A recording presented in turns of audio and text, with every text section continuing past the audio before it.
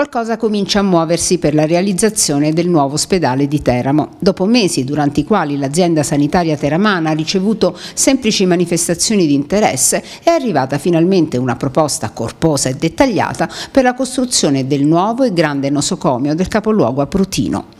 L'iniziativa proviene da un gruppo non abruzzese ed è un project financing. Il nuovo ospedale di Teramo è un'opera per un valore di circa 250 milioni di euro, con 600 posti letto da realizzarsi in zona Piano Daccio. La normativa impone all'amministrazione di valutare nel termine di tre mesi l'eventuale fattibilità della proposta. Così la SLA di Teramo ha avviato un'approfondita istruttoria per l'analisi del progetto e per l'esame del piano economico finanziario particolarmente complesso. A tal fine è stato costituito un gruppo di lavoro interno coordinato dal direttore amministrativo Maurizio Di Giosia, supportato da tecnici esterni, che dovrà affrontare tutti gli aspetti giuridici, tecnici ed economici legati alla proposta. Se gli approfondimenti daranno esito positivo, dopo tutti i controlli e confronti, solo allora potrà essere avviata la vera e propria gara d'appalto.